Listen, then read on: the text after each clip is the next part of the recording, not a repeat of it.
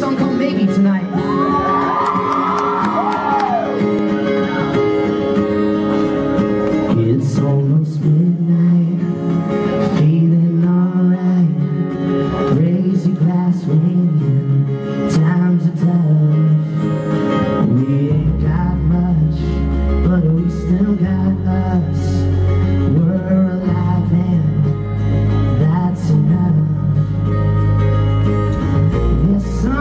in